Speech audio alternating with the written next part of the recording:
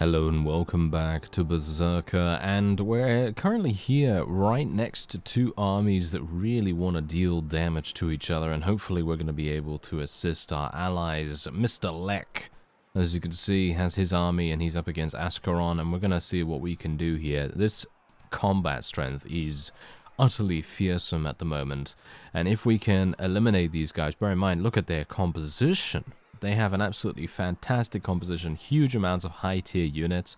They have legionaries, they have elites of all kinds, they have everything that they could possibly want, and that is the reason why their combat strength is so dramatically better than pretty much anything we have. But I'm now adding my 650 onto Lex 1250, and we're about to go in and see what we can do. Now, obviously, um, a couple of castles have been taken. I believe Caesar Castle was taken just moments ago. And hopefully we're going to be able to take a couple more of those things as well.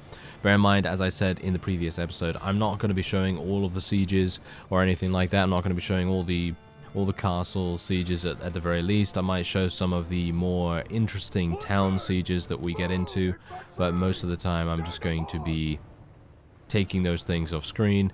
And uh, of course I'm going to be showing the um, the more well slightly uh, well daunting battles because let's face it those are the ones that are usually the most enjoyable and uh, satisfying. When we do end up winning of course they are also somewhat well problematic if we end up losing. Ah, oh, there's a lot of people. Oh, I just killed Nikasaur. I actually did not kill him, but, you know, we, we eliminated him, which is pretty nice. Anyway, let's just see if I can do as much damage as possible here. Unfortunately, um, actually, should I say fortunately? Fortunately, we do have some rather nice uh, thrown weapons here, and my forces are able to use them to good effect. Wow, that was a nice hit, if I do say so myself. That was another nice hit in the in the face, no less. In the face to that guy. And one of the main issues, by the way, with thrown weapons, which you probably already know about, but I'm going to say it anyway. But one of the main issues, you know what it is? Well, it's being able to be blocked, basically. If you are blocked, for any reason, then obviously you're going to, well, do zero damage. But with that new ability that we have, I think it's called ballistics or something like that. I'm actually not entirely sure what it's called, but Generally, it's that thing that allows the javelins that you're using to penetrate enemy shields. And that is just incredible. That's one of the best perks I've ever seen because it basically makes your thrown weapons into an almost guaranteed kill every single time you wind up a throw. And in my opinion, that is probably more impactful than pretty much any other perk with the exception of obviously those ones that are all the way at the very end of the of the tree. And I'm talking about things like everything has a price and the athletic skill to increase your um, to increase your HP. You know, every single time every single time you gain a, a couple of uh, skill points in athletics, you're going to gain huge amounts of HP and everything. Those are the kinds of perks I'm talking about.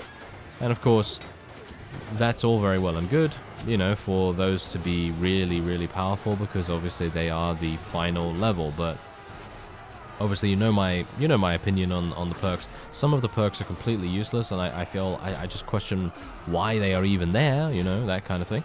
But well, if that's if that's the way they want to do it, then that's the way they want to do it. I have no no problems with them. I'm just saying that uh, some of the perks that we can currently get are quite lackluster in their fun factor, if you know what I mean. Because usually you want to have a lot of fun whenever you level up and whenever you have the ability to select a perk. You want to be like, wow, this is crazy. I have two incredible choices right here. And instead, some of the time you have the, well, the choice between something bad and something slightly less bad, you know. So that's, um, uh, you know, I mean, it's still early access, so you never know what's going to happen. Maybe they're going to do something about that. I have to be really careful here. I'm just going to block downwards. Generally, that's usually what uh, spearmen are going to do every single time. Thankfully, there aren't too many one-handed weapon users or two-handed weapon users or anything like that, so we don't have to worry about it in the least. But hopefully, I am going to be able to survive this battle.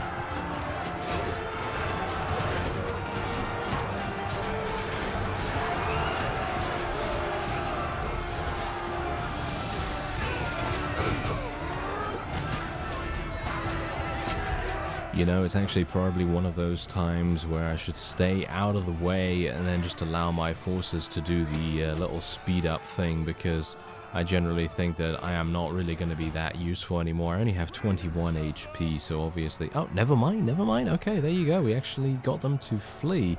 I did take 18 uh, overall casualties, which is actually not even that bad if you think about it, because I do need to continue recruiting units as well. And speaking of that, I did just, just before I started the episode, recruit another companion. I actually didn't recruit another companion, I found an old companion and I've given him a party of his very own and now he's running around and doing whatever he wants to do and hopefully that's going to result in us having a wonderful wonderful little um, little smattering of units in his army and hopefully he's going to return to us with decent units and then we'll be in a very nice situation. Okay, do I have a herd problem right now?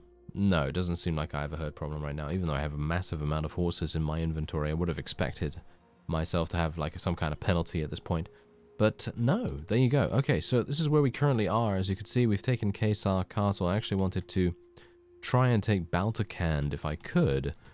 But, um, well, I'm not entirely sure why my forces are ignoring Baltakhand, and that kind of makes me think, hey, maybe there's a bit of a problem there.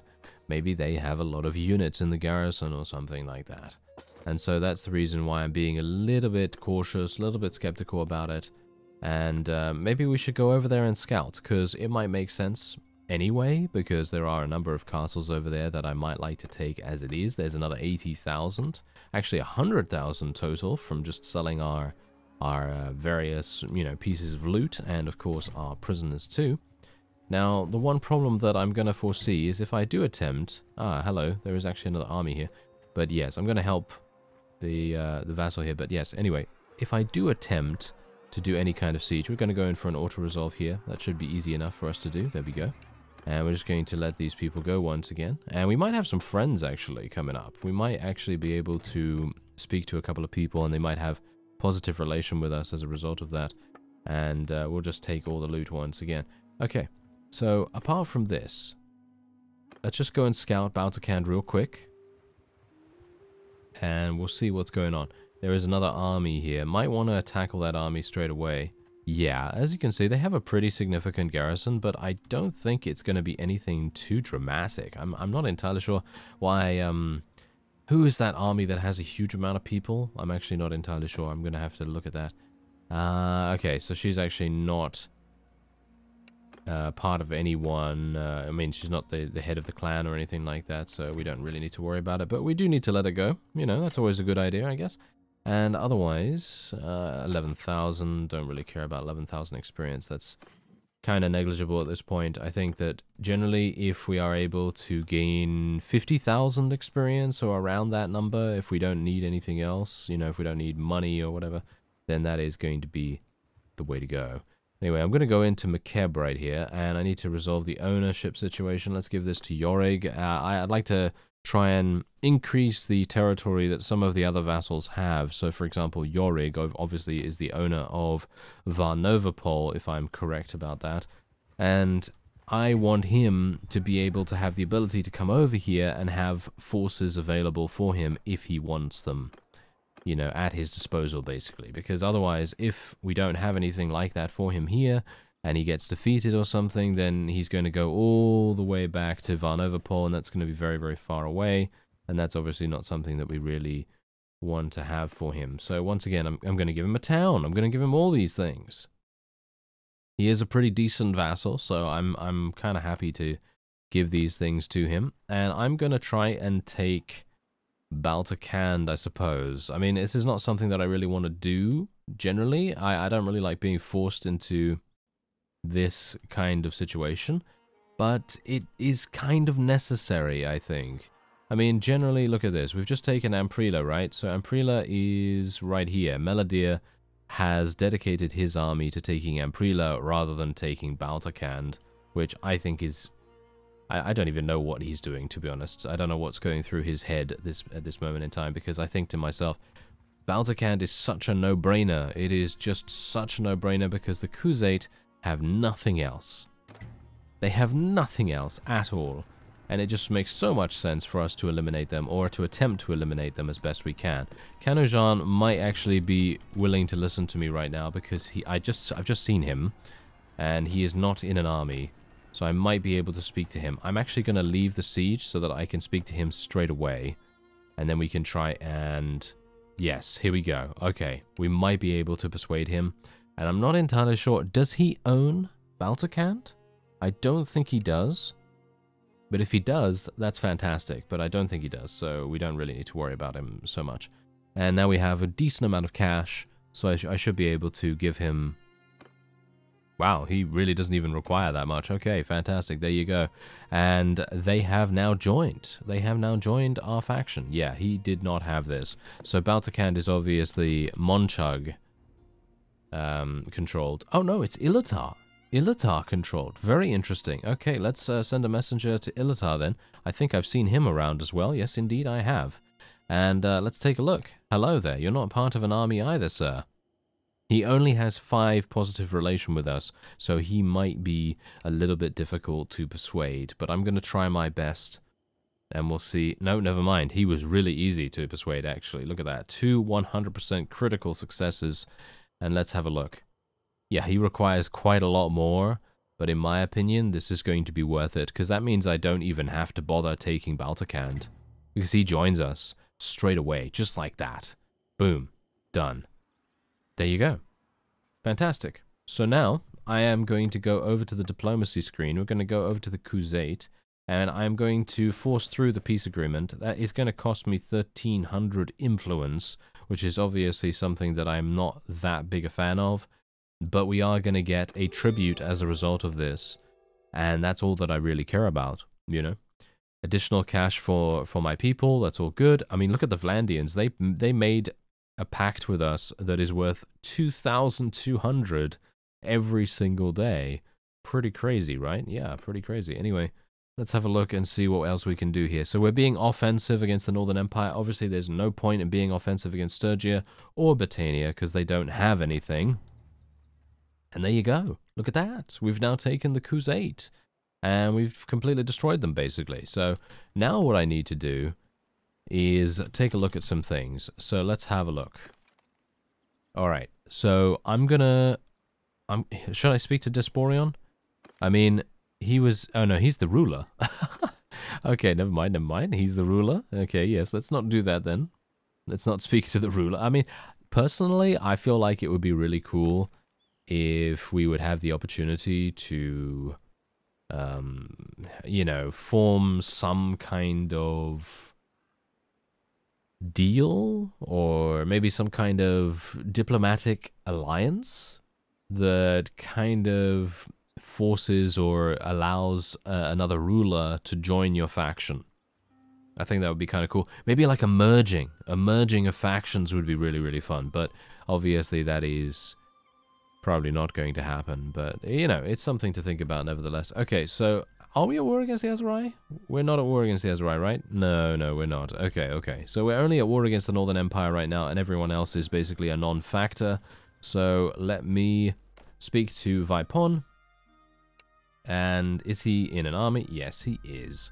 Of course he is. Okay, so before we go anywhere else, let's just go to Baltakhand, because I do need to recruit some... Never mind.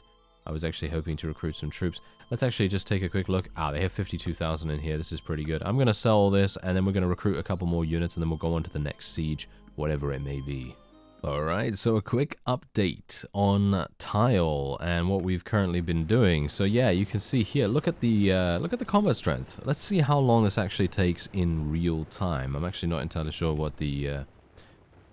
Uh, what the timer is on right now. I mean the duration of the video. But let's let's just take a quick look at this. So I'm gonna start now. Let's do this. Fast forward mode. And I've taken a note how long this is going to take. I estimate less than 30 seconds. What do you bet? Less than 30 seconds to do this? I think so. It's it's so far been 15. And that's it. Yes, it's now been 20 seconds since I said now. Okay, so there you go.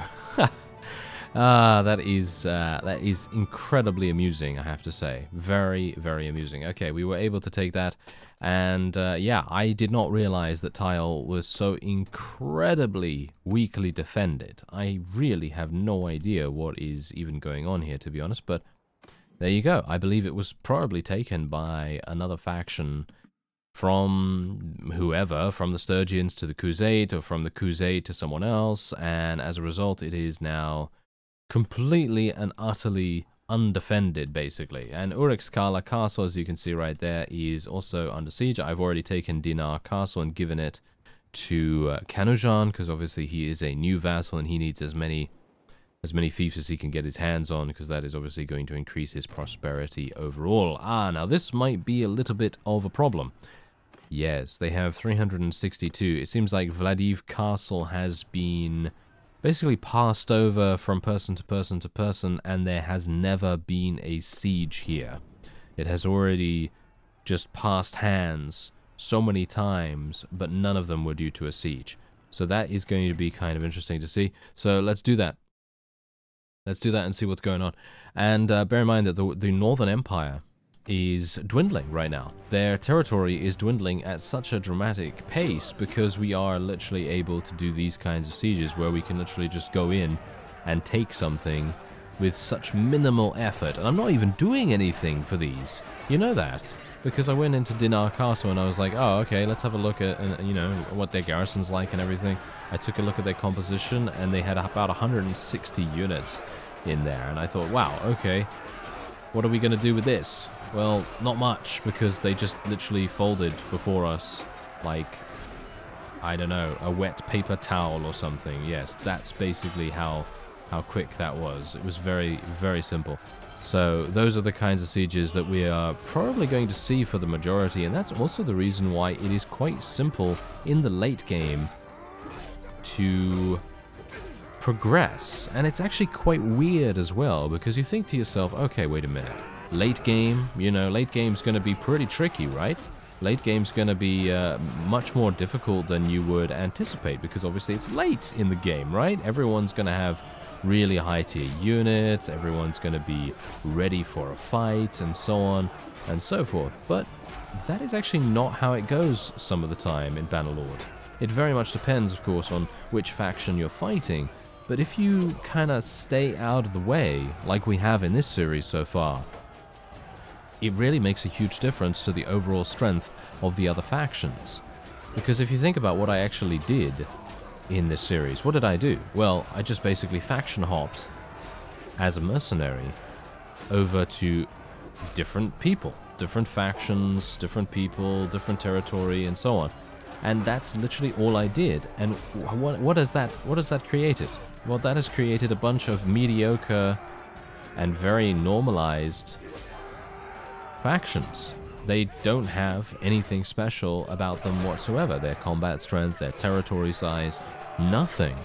And that, indeed, is probably the secret to being able to achieve victory without too many too many difficulties because you basically just allow enemies to fight each other. You allow enemies to fight each other through sieges, of course, through sieges because if if they're, you know, fighting through diplomacy or something along those lines, then that's obviously not really going to make that big of a difference because diplomacy, as I've just demonstrated with Vladiv Castle right here, it basically doesn't make any difference. They they just keep the garrison and everything is normalized from that perspective. You know, instead of sieging something and then ha literally having all of the garrison be refreshed, that is usually not how it works with diplomacy. So, you know, when, when diplomacy happens, the garrison just switches owner over to someone else.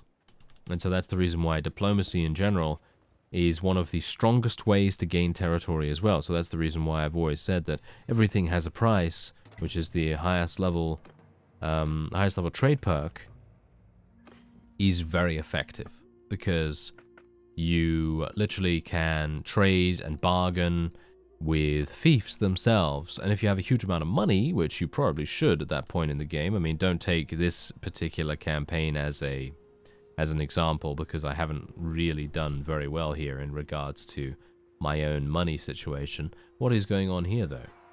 Oh, I should probably help them out, shouldn't I? Yes, I should probably help them out. Okay, let's go in here. Um, but yes, I usually, at this point in the game, have so much cash that I don't know what to do with it. And this is obviously a, a bit of a, a bit of an exception in this campaign because we, I think we had just way too many garrisons, way too many garrisons with way too high high tier troops in those in those garrisons. But yes, if you if you have everything has a price, you're going to be able to do an extremely good job. Oh, look at that! Civil War is broken out in Battania. Well, that doesn't really do much because they don't have anything. That's kind of amusing. Or I, I don't think they have anything anyway. But yeah, everything has a price. With money, you're going to be gaining so much combat strength every single deal you do that that is that is probably the key to having the strongest faction in the shortest amount of time. So if you want to speed run or you want to challenge yourself with conquering Calradia in under a certain amount of days or whatever, then generally the best way to do that is through everything everything has a price. And uh, that's not, yeah, I mean, that's the thing. That's not strictly true um, from some perspectives, because if you think about it, you do need to have decent relation and a decent charm skill and a decent trade skill uh, to be able to make that work. Because if you don't have relation with the vassal, then they're most likely not even going to speak to you. If you have negative relation with them, for example, they're probably going to say something like, I would prefer not to speak on this matter with you, you scoundrel. I mean, they're not going to say you scoundrel, but they're going to say something to that effect, and then you're going to basically be like, oh, well, that's kind of sad. And yeah, so that that's that's basically how it's going to go if you are not careful. That's the reason why generally even in a trading campaign. I, I, I, do have a trading campaign, by the way. It's called um, Trader Lord Pelisor or something along those lines. So if you want to check that out, there is a playlist in the description. I, I think you've you, have you have probably already seen it, to be fair. But generally, if you haven't seen it, I'd highly recommend it. It does show the, the power of everything has a price, but bear in mind that this was on a few game versions behind this one and the persuasion system has undergone various changes since then, and um, yeah, a bunch of other bunch of other changes have also been made. And of course, I was using different mods then as well because I was going for very much trader-based mods to um, to make trading just that much more fun and uh, generally more usable as well. But yeah, that um, that is definitely something to think about because as I say, if you are able, that's why I've actually been trying to persuade these people to join me because, for example, that guy that had Baltakhand, what was his name again? Ilatar, right? Ilatar? Yeah, that guy, literally, him joining us with a garrison of 500 or 600 units, that basically gave us what? Uh, what was his army size? I don't even know what his army size was, but that that gives us about 700, maybe 800 combat strength, just because he joined us with that garrison. And that means everything. That basically means everything. Combat strength means everything in this game. And uh, I'm gonna die. Am I? If I die here, this is going to be embarrassing. I should run, actually. Yeah, that's also something you should bear in mind. If you run forward, you're obviously going to run much faster than if you backpedal. So it's usually a good idea to turn around, run away, and then turn around again if you want to use your thrown weapons or something like that. I do want to try and escape from the situation though, if at all possible. Can you get out of my way, please? Thank you. Thank you very much. What, what, what was that? Did you see that? That was an absolutely pitiful throw. There we are. Nice.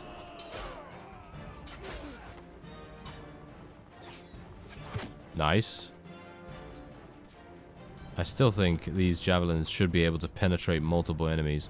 I mean, considering the amount of force that I'm literally throwing it with. But I assume that as soon as I hit someone and kill them with it, their ragdoll or body or corpse or whatever you want to call it ceases to have any kind of collision. So that probably makes a difference as well. Anyway, there you go. We did end up taking Epinosa Castle, and we are now going to auto-resolve. Oh, yes, I actually need to do this, so let's just give that real quick to Kenujan. And I want to make sure that he is pretty happy because I'm pre I, I think he's a good vassal. I think he's a good vassal, so I'd like to make sure that he's uh, he's doing okay. We're going to just take the remaining little bit of uh, prisoners right there. Don't really care about 5,000 experience. I'd much rather have the money at this point. Let's decline this for the moment too. And let's take a look at the map, because I believe that Myzea has actually just been taken. Oh, hello there. Two armies. Two armies in the area. Very interesting to see them so close by. Are you actually going to attempt to take this? No, they are not attempting to take this. That is very interesting. Okay, so let's have a look. What else is happening here? There is another vote for Myzea. As I said before, they have actually taken that. They want to give this to me. Uh, I don't really want it, so I'm actually going to give it to Ilatar. Because he only has one thing, and while it may be a town, I think it makes more sense for us to give him that than for us to take it. And as you can see, look at that. We've kind of split the Northern Empire's territory in half. They still have Argoron as one of their towns, but otherwise, apart from that, they have nothing. They just have Gauss Castle, uh, Castle, and Siratos Castle, as well as Lochana, and that's it. That's all they have. So, yeah. Then it's just the Aserai and Vlandia and a couple of fiefs from the Southern Empire, but they're really not going to be that difficult to deal with. So we should be absolutely fine. Let's take a look at Sturgia's combat strength, actually. They still have 6,000. Aserai have 7,000, Southern Empire 3,000, and so on and so forth. So yeah, Battania has zero. They're basically done. They are basically done. They should be eliminated from the game, in my opinion, but I'm not entirely sure if that is even in the game any further, that particular game mechanic or whatever. But otherwise, yeah, my plan going forward, well, what it is right now is because the series is no doubt inevitably coming to a close relatively soon in the next episode or two, what I'm going to do is I'm going to take every single Empire fief. I'm going to take uh, the Northern Empire and the Southern Empire. I will declare war against the Southern Empire to be able to do that, I suppose. And then we will, it, probably, in as I say, in one or two episodes, we'll dedicate one episode to the Aserai, and then we'll dedicate one episode to the Vlandians, and then, and then that will be it. And then we will own the entirety of the map.